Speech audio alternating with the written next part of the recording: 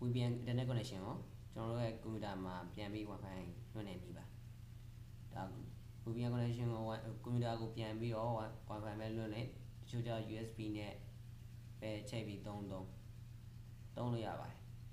ဒါပေမဲ့ USB နဲ့ချိန်သုံးမယ်ဆိုလို့ရှိရင်ကျွန်တော်ကျွန်တော်တို့ဖုန်းကအားကုန်တယ်အားကုန်ပြီးတော့ကျတော့ဖုန်းကလည်းပူလာတယ်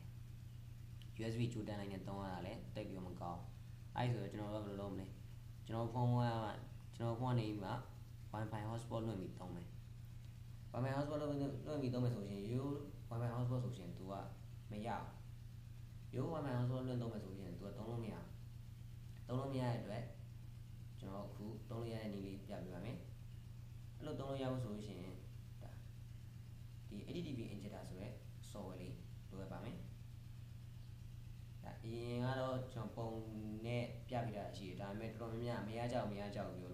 အခုဗီဒီယိုဖိုင်လုပ်ပြီးတော့တင်ပေးလိုက်တာပါဖုန်းမှာ root ရှိကြမလို့ပါဘူးဖုန်းမှာ root ရှိလည်းရပါတယ်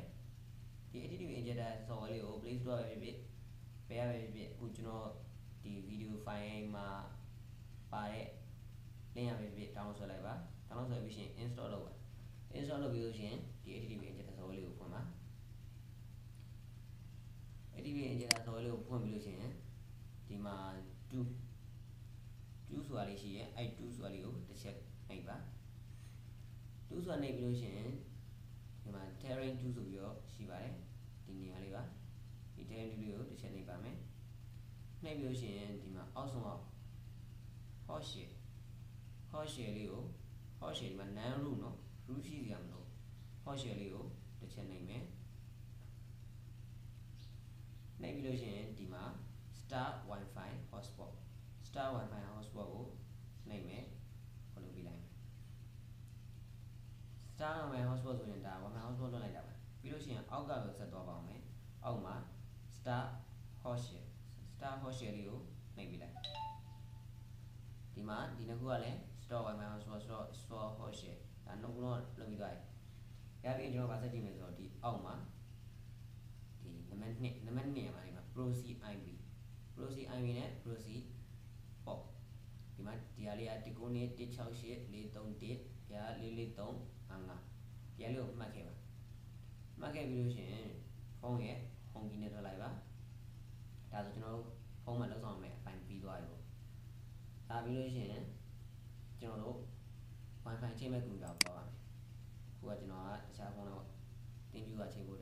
ွက်တခြားဖု န်တော် wifi ချိန်မဲ့ကွန်ပျူတာကိုသွားမယ်သွားပြီးရင်ကွန်ပျူတာရဲ့ကွန်ပျူတာမှာ wifi ကိုအရင်ချိန်မယ်ကျွန်တော်အခုကျွန်တော်ပို့ပို့ဖုန်းလေးနဲ့ချိန်ပါမယ်ချိန်လိုက်ပါချိန်လိုက်ပြီဆိုလို့ရှိရင်ဒီမှာ over မှာ no internet ဆိုတာဖြစ်နေပါမယ် no internet ဖြစ်နေပြီဆိုလို့ရှိရင်ဒီ icon လေးမှာကျွန်တော် right click ထောက်မယ် icon icon လေးမှာ right click ထောက်ပြီးတော့ open network and sharing center ဆိုတာလေးကို open network and sharing center လေးကို sorry open network and sharing center အဲ့ဒီကိုနှိပ်ပြီးတော့သွားလဲရတယ်အဲ့လိုမှမဟုတ်ဘူးဆိုလို့ရှိရင်ဒီဒါလေးကိုနှိပ်နှိပ်ပြီးကြအောင် network and internet setting ဆိုပြီးတော့သွားလို့လည်းရတယ် အဲ့လိုမှမဟုတ်ဘူးဆိုလို့ရှိရင်ဒီမှာ window battery ကနေမှာ setting setting တွေက network and internet ဒါဘယ်ရပဲသွားသွားအတူတူပါအဲ့လိုသွားသွားပြီးလို့ရှိရင်ဒီမှာ network and sharing center ဒါတူတူပါပဲအဲ့ဒီသွားပြီဆိုရင်ဒီမှာအောက်မှာ internet option ဆိုတာလေးရှိပါတယ် internet option ဆိုတာလေးကိုနှိပ်ပါ internet option နှိပ်ပြီးလို့ရှိရင်ဒီအပေါ် menu bar ရဲ့က connection connection ဆိုတာလေးကို click ပါ connection ဆိုတာ click ပြီးလို့ရှိရင်ဒီမှာ local area network LAN setting တွေကဒီမှာ LAN setting လေးကို check click ပါဒီနေရာမှာကျွန်တော် proxy server ရဲ့အောက်မှာဒီမှာလေးမှာဒီလေးတော့အကွက်လေးမှာအမှန်ကြည့်လေးပြပါမယ်ဒီမှာ address နေရာမှာဆိုတော့ကျွန်တော်တို့မှတ်ဖုန်းမှာမှတ်လာတဲ့ IP address ဖုန်းကနေမှတ်လာတဲ့ IP address 19268431ပြီးရင်ပေါ့က 4355ဒီဟာလေးကိုရိုက်ခဲ့ပေးပါရိုက်ထည့်ပြီးရင်ဒီ bypass proxy server for local address ဆိုတာလေးကိုမှန်ကြည့်ပေးလိုက်ပါပြီးရင် okay နဲ့ okay နဲ့ဒါဆိုလို့ရှိရင်တော့ကျွန်တော်တို့ VPN connection ကိုကွန်ပျူတာကို Wi-Fi လွှင့်နေနေပြီးသွားပြီရရမရသုံးကြည့်မယ်ဆိုရင်ကျွန်တော်တို့ဒီမှာကျတော့ဒါ Chrome browser သုံးတဲ့သူတွေဆိုရင်တော့အဆင်ပြေရဗျ Chrome Chrome browser သုံးတဲ့သူတွေဆိုရင်တော့ချက်ချင်းရသွားပြီဒီမှာ internet ကိုသုံးလို့ရပါပြီဒါ Chrome browser မဟုတ်ဘဲနဲ့တခြားဒီ Firefox Firefox browser သုံးတဲ့သူတွေကကြတော့ကျွန်တော်ပြန်ပြီးတော့ပြင်ပေးရပါမယ်ကျွန်တော်တို့ Firefox browser ရဲ့ဒီမှာ menu open menu ဆိုတာလေးဒီအပေါ်မှာမြင်းချောင်းလေး၃ချောင်းရှိတယ် open menu ဆိုတာလေးကိုဖွင့်မယ်ပြီးရင်ဒီမှာ option option ဆိုတာလေးကိုဒီ option ဆိုတာလေးကိုနှိပ်မယ်နှိပ်ပြီးအောက်ဆုံးလေးဆွဲသွားပါ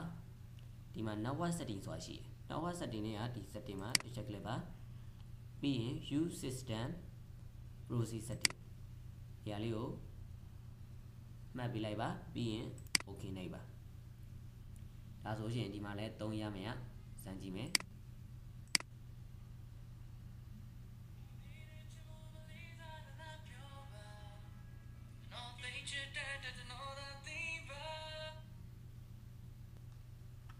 ကျွန်တော် Firefox browser မှာရလားစမ်းကြည့်ပါမယ်